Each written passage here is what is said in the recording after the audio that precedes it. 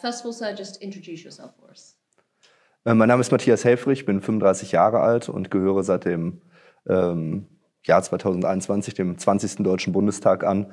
Bin Mitglied ähm, des Innenausschusses als beratendes Mitglied, fraktionsloser Abgeordneter und AfD-Mitglied. Okay. And first of all, to talk about these leaked messages that emerged uh, a few years ago, why in private messages did you describe yourself as the friendly face of National Socialism? Also ich habe mich ja nie selbst als freundliches Gesicht des Nationalsozialismus bezeichnet, sondern es war die Wiedergabe einer Fremdbezeichnung durch Linke auf Twitter in einem Privatgespräch. Und dieses Privatgespräch wurde dann im Rahmen einer politischen Erpressung wohl auch an den öffentlich-rechtlichen Rundfunk, an den Bundesvorstand der Partei gespielt. Und mir wurde letztlich gar keine Möglichkeit gegeben, diesen diesen privaten, äh, diese private Nachricht überhaupt zu erklären. Also ich habe nie gesagt, ich bin das freundliche Gesicht des Nationalsozialismus, sondern ich habe diese linke Fremdzuschreibung in einem privaten Gespräch dem Gesprächspartner gegenüber, der das auch wusste, wiedergegeben. So you, you said it was parody. That's how you see it. Genau, es war eine Persiflage, es war eine Parodie, die ich wiedergegeben habe. Ich habe mich selbst mal als freundliches Gesicht des Rechtspopulismus bezeichnet. Daraus haben eben linke Twitter-Aktivisten gemacht, dass ich höchstens das freundliche Gesicht des Nationalsozialismus sei.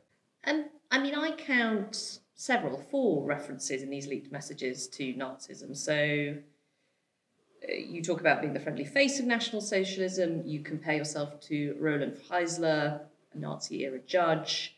You appear to expressly quote Hitler. You talk about how the Fuhrer wrote, uh, and then you give a quote. And you picture or share a photo of a, of a flower and refer it to the secret symbol of, of National Socialists during the ban in Austria. That's quite a lot of Nazi related parody. Ich glaube, wenn man so häufig mit dem Nazi-Vorwurf konfrontiert wird, wie es AfD-Politiker ähm, widerfährt, dann gibt es private Räume, wo man das auch kompensiert, wo man sich darüber lustig macht und wo man auch versucht, mit diesem Vorwurf, der einen auch trifft, weil wir uns nicht als Nationalsozialisten verstehen und auch ähm, den Vorwurf des Nazis als ungerechtfertigt empfinden, dass man den auch versucht zu kompensieren. Und äh, sicherlich gibt es dort Aspekte eines dunklen Humors, die das erträglich machen, dieses Dauerfeuer, wie es eben auf AfD-Politiker gerichtet ist. I mean, Mr. Helfrich, some people just aren't going to believe and don't believe you in what you say in your justification. Das mag so sein. Jeder, der mich kennt, weiß, wie diese Gesprächsverläufe zu deuten sind und damals zu deuten waren. Ähm, sonst hätte mich wahrscheinlich auch der äh, Bundesvorstand der Partei hätte dann einen Ausschluss gegen mich beantragt. Das hat er nicht. Auch das Landesschiedsgericht, also das parteiinterne Gericht der AfD NRW, hat ähm, festgestellt, dass ich in meinem gesamten Engagement mich für die freiheitlich-demokratische Grundordnung und für eine demokratische AfD eingesetzt habe, für demokratische Werte gekämpft habe innerhalb unserer Partei und in keinster Weise auffällig im Kontext von irgendwelchen nationalsozialistischen oder rechtsextremen Bezügen war. Ähm, insofern, ähm, sag ich mal, gibt es natürlich Deutungen, die in der Öffentlichkeit auch provoziert werden und auch gezielt provoziert werden, um letztlich ein Bild von einem zu zeichnen, was möglichst negativ ist und was äh, einen als ja eben als Nationalsozialisten framed. But my understanding is, and, and correct me if I'm wrong, it was seen as serious enough that it led to you reportedly being barred from being able to join the AFD's parliamentary faction. And, and that is, as I understand it, still the case. Also es war damals so, als ich frisch in den Deutschen Bundestag gewählt worden bin, dass diese Vorwürfe ganz akut waren und ganz frisch waren. Viele Abgeordnete der AfD-Fraktion mich natürlich auch gar nicht als politische Person, auch nicht als Persönlichkeit kennenlernen konnten, mich gar nicht einordnen konnten und äh, ich damals auf einen Fraktionsbeitritt verzichtet habe. Im Hinblick auch auf das laufende Parteiordnungsverfahren, was gegen mich eingeleitet worden war, weil ich die Hoffnung hatte, die sich auch bestätigt hat, dass die meist das Gros der Vorwürfe auch widerlegt werden konnte durch mich. Und dann später, als das Verfahren abgeschlossen war, wollte ich Mitglied der AfD-Fraktion werden. Dafür habe ich auch eine einfache Mehrheit, also die Mehrheit der Abgeordneten in der damaligen Fraktionsversammlung ähm, hinter mir, mir versammeln können. Aber ich hatte keine Zweidrittelmehrheit. Und das ist durchaus schwierig in der AfD, äh, eine Zweidrittelmehrheit von Mitgliedern einer Fraktion oder eines Parteitages hinter sich zu vereinen. Ähm, selbst die beiden Fraktionsvorsitzenden wurden nicht mit zwei Dritteln der Fraktionsmitglieder gewählt und mir war das dann auch nicht vergönnt. So you're still not in the AfD faction, just to be clear. Genau, ich bin nicht Mitglied der AfD-Fraktion, bin aber inzwischen auch wiedergewähltes Vorstandsmitglied der AfD NRW. Um, uh, I just want to talk about remigration. I watched a video that you shared. Uh, you talk about preserving the land of the Germans and wanting remigration on the scale of millions. Who are these millions that you are deporting? Also wir haben alleine 1,1 Millionen ukrainische Kriegsflüchtlinge hier in Deutschland, die, so ist die Hoffnung, wenn die Ukraine befriedet ist und die Kampfhandlungen gegen die Ukraine eingestellt wurden durch Russland und ähm, dieses Land wieder in weiten Teilen Sicherheit für seine Einwohner versprechen kann, dass diese Menschen zurückkehren. 1,1 Millionen ukrainische Kriegsflüchtlinge, die sich allein hier in Deutschland aufhalten. Wir haben rund 500.000 Personen in Deutschland ohne Aufenthalts Gestattung oder ohne Aufenthaltstitel. Auch diese Personen müssen natürlich in ihre Heimatländer zurückkehren. Wir haben rund 240.000 ausreisepflichtige Ausländer, die abgeschoben werden müssten, aber deren Abschiebung zum Beispiel durch eine kommunale Duldung gehemmt ist. Auch diese Menschen müssten Deutschland verlassen. Wir haben allein in den letzten zwei Jahren rund 200.000 ausländische Straftäter in diesem Land zu verzeichnen, die wir auch nicht mehr in diesem Land dulden wollen als kriminelle Ausländer. Und auch diese Menschen müssen aus meiner Ansicht nach das Land verlassen. Und insofern ist auch die Forderung einer millionenfachen Remigration äh, in keinster Weise wieder unsere Rechtsstaatsidee oder es ist auch nicht unrechtmäßig, sondern es ist letztlich auch äh, Ausdruck eines Rechtsdurchsetzungswillens bestehenden Rechts. But I think in your video you talk about uh, deporting people, or as you put it, remigrating people from specifically from the Middle East and Africa.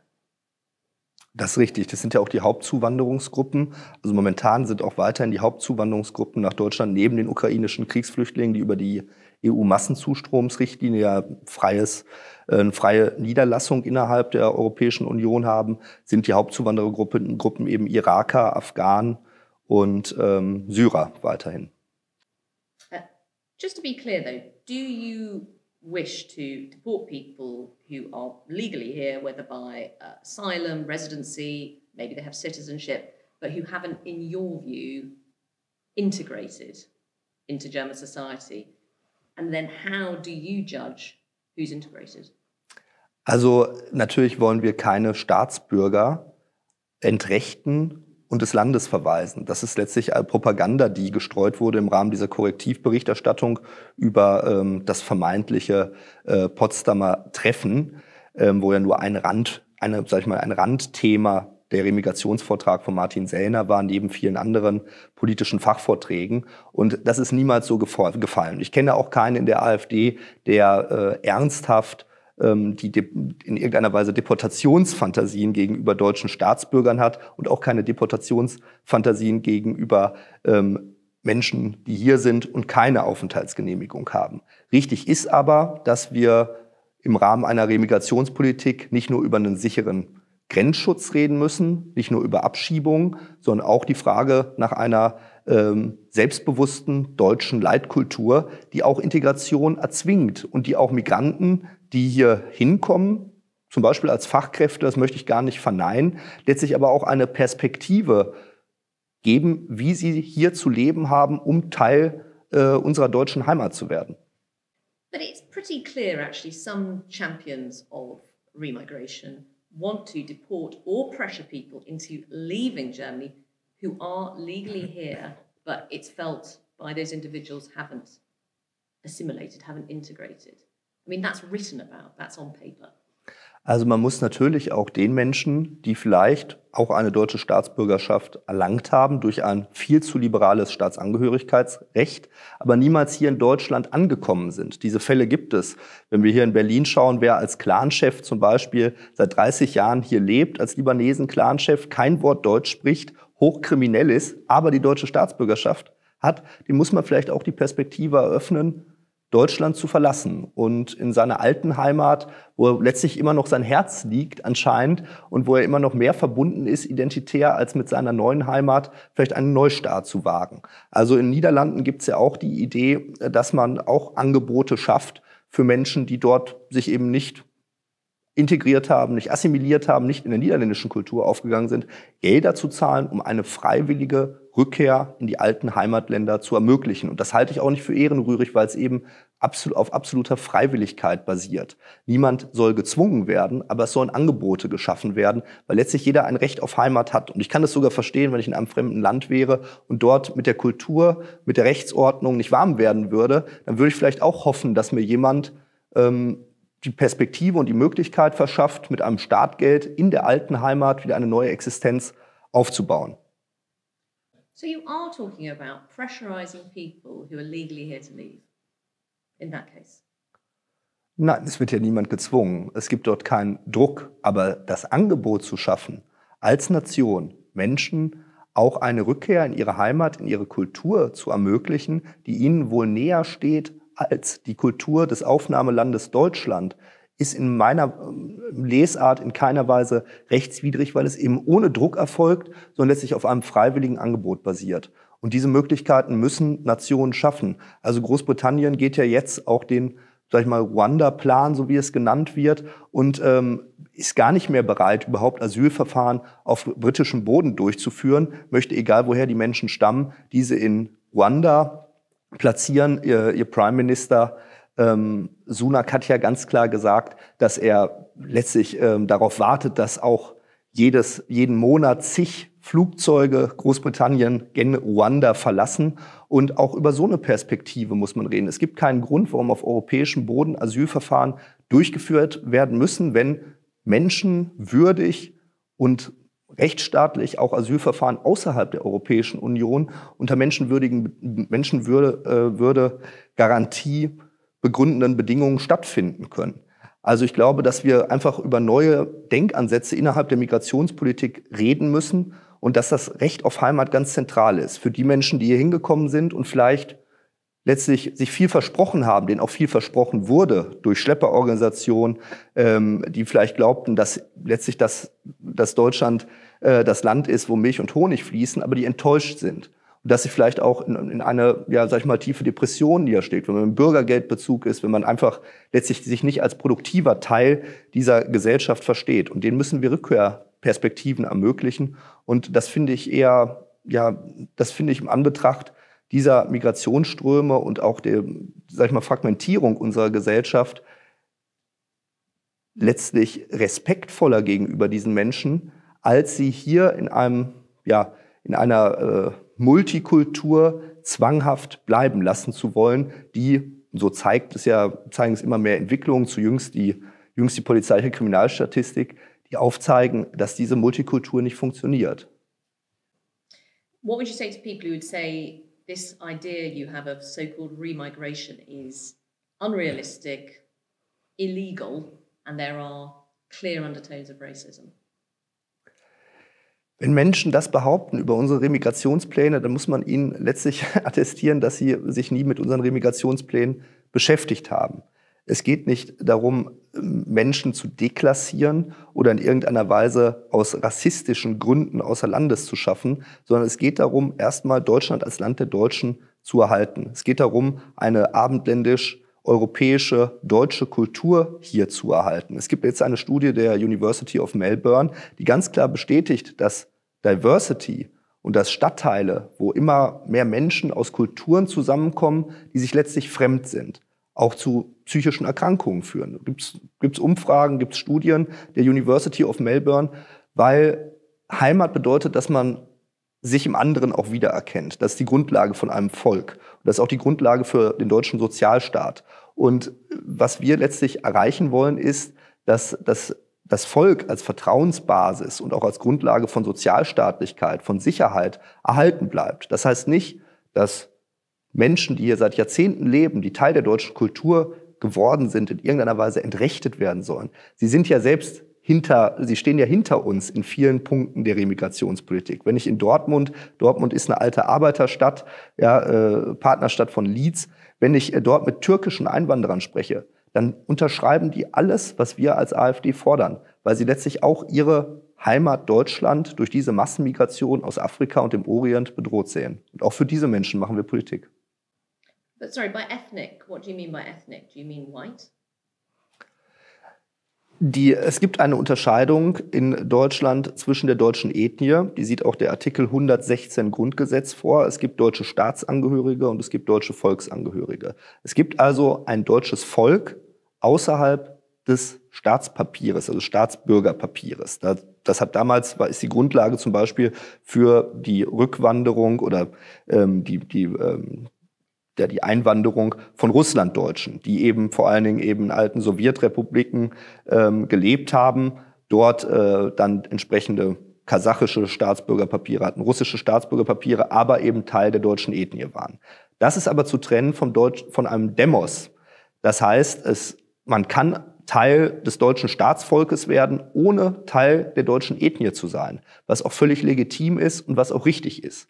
Das heißt, äh, das ist ja der Vorwurf, den uns das Bundesamt für Verfassungsschutz macht, dass wir unterstellen würden, wer nicht deutscher Ethnie ist, könne auch nicht Teil des deutschen Staatsvolkes sein. Und das ist Unsinn. Diese Unterscheidung treffen wir nicht, weil wir sagen, natürlich kann jemand, der nicht der deutschen Ethnie ist, der zum Beispiel eine türkische Herkunft hat, Teil des deutschen Staatsvolkes sein. Das erkennen wir auch vollkommen an. Wir haben ja auch zahlreiche Mitglieder, Mandatsträger, die einen Migrationshintergrund haben, die zum Beispiel bei uns im Landtag äh, gebürtige, eine gebürtige Albanerin, die aber deutsche Staatsbürgerin ist und dann keine ethnische Deutsche ist, aber natürlich willkommener Teil des deutschen Staatsvolkes. Okay, and just finally on this, and then we probably need to wrap up, but I, just want to be clear. Um, in your idea of, of, of what you call remigration, how are you judging if you were in power who is German enough? What's the criteria? Ich glaube, das tut das Aufenthaltsgesetz so schon. Ähm, wer zum Beispiel straffällig wird und sich gegen unsere Rechtsordnung stellt, wird damit schon mal einen ersten Indikator liefern, wenn er das immer wieder tut und auch je nach Intensität der Straftaten, dass er letztlich nicht in der deutschen Gesellschaft angekommen ist und dass er dieser, diesem Deutschland eben als seiner Heimat letztlich ähm, ja, zeigt, dass er ihre Rechtsordnung nicht anerkennt, ihre Identität als Verfassungsstaat nicht anerkennt und dann muss er dieses Land verlassen. Also ich weiß nicht, äh, das ist jetzt, äh, da wird niemand sitzen und schauen, ob derjenige äh, eine Lederhose tragen möchte oder ob er ein Schnitzel ist, sondern es geht vor allen Dingen darum, auch gesetzgeberisch. Also wir sind ja hier im Parlament, um auch Gesetze zu schaffen festzustellen, ob jemand angekommen ist, ob jemand Teil der deutschen Kultur geworden ist, Teil des deutschen Staatsvolkes und auch letztlich eben dieser, sich dieser Fragmentierung unserer Gesellschaft entgegenstellt. Und dafür braucht man objektive Kriterien, an denen sich zum Beispiel Richter oder Ausländerbehörden ähm, orientieren können. Was es nicht geben wird, ähm, auch wenn das unterstellt wird, dass es in irgendeiner Weise dann einen Leitfaden gibt, wie man ein guter Deutscher sein wird. Erstes ist eben Verstöße gegen die, unsere Strafrechtsordnung, gegen unsere Rechtsordnung, sind erstmal ein Indikator dafür, dass jemand hier nicht angekommen ist. Dann muss er Deutschland verlassen. Wer entsprechend auch, es gibt auch keinen Grund, also wir können auch selbst entscheiden als Volk, wer dazugehören soll. Es gibt ja jetzt sogar von der Ampel entsprechende Einbürgerungstests, die dann Fragen vorsehen, ob jemand angekommen ist. Also das ist ja jetzt kein, kein Alleinstellungsmerkmal der AfD, ähm, dass auch eine, eine Nation entscheidet, wer Teil dieser Nation werden kann. Ja, also die Ampelregierung hat ja jetzt einen Gesetzesentwurf auf den Weg gebracht, der vorsieht, dass Antisemiten nicht eingebürgert werden können. Es gibt ja diese Indikatoren, die ausmachen, dass wir sagen, diese Leute wollen wir nicht. Und ich muss auch sagen, wir können auch als Volk und als Nation entscheiden, ähm, und es ist auch letztlich der Auftrag unseres Grundgesetzes, dass Deutschland das Land der Deutschen bleibt. Und dazu gehört auch eine deutsche Mehrheitsgesellschaft aus meiner Sicht. Wir müssen uns nicht den Migrationsströmen der Moderne unterwerfen und die als Nat Naturkatastrophe, als gegeben hinnehmen. I just want to finally move on to uh, you spoke at the summer party of the Institute for Staatspolitik last year, and I think it was just months after the IFS had been classified by domestic intelligence as right wing extremist. Why did you appear there? Also das Institut für Staatspolitik ist, ähm, ja, sag ich mal, ein, ein wesentlicher Bestandteil des äh, politischen und publizistischen Vorfelds letztlich der gesamten rechtsdemokratischen Bewegung in Deutschland. Ich teile die Einschätzung des Bundesamtes für Verfassungsschutz nicht, dass es sich dabei um eine äh, rechtsextreme Bestrebung handelt, äh, wie ich so viele Einschätzungen des äh, Bundesamtes für Verfassungsschutz und seiner Landesämter nicht teile. Deshalb nehme ich mir auch, behalte ich mir auch selbst vor zu entscheiden, wo ich auftrete. Und ähm, ich glaube, dass eine rechte Bewegung ähm, in ganz Europa, aber auch äh, natürlich in Deutschland letztlich publizistische, aktivistische und äh, politische Vorfeldakteure braucht, um eben in die Zivilgesellschaft auch hineinzuwirken. Bei den Linken ist es ganz normal, da wird das akzeptiert, sogar mit Steuergeldern hier im Deutschen Bundestag durch das Demokratiefördergesetz finanziert. Und wenn das Rechte machen, dann äh, wird das als äh, wird das halb kriminalisiert. Ja. And finally, you've talked about the AFD being too inert to defeat the system. Is the translation I have. Could such a sentiment be seen as anti-democratic, anti-constitutional?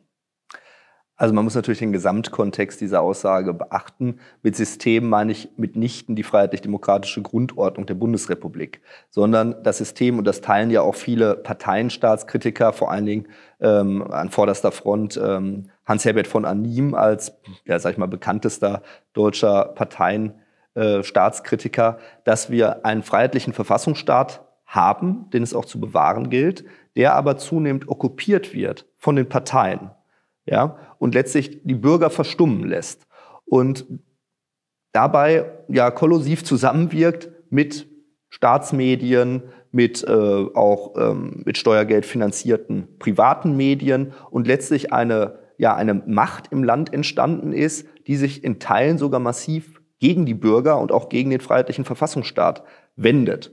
Und meine, das ist für mich das System, das System der Herrschenden, letztlich das System der Mächtigen. Und unsere Aufgabe als AfD ist es, so verstehe ich uns als Bürgerbewegung, dass wir den Bürgern in diesem Land all jene, die sich nicht mehr gehört gefühlt haben die letzten Jahrzehnte oder die Angst haben. Ja, auch immer mehr Bürger in Deutschland gibt es ja auch namhafte Studien, sagen, sie können im Bereich Islam, Ausländerkriminalität und vielen anderen Bereichen gar nicht mehr frei ihre Meinung äußern, weil sie Angst haben vor Repression, vor ähm, sozialem Druck, vor vom Arbeitsplatzverlust, dass wir diesen Bürgern ihren freiheitlichen Verfassungsstaat zurückgeben und diesen, sage ich mal, dem, dem Parteienstaat entreißen weil die Parteien, so sagt es Hans-Herbert von Anim, haben sich eben diesen Staat zur Beute gemacht.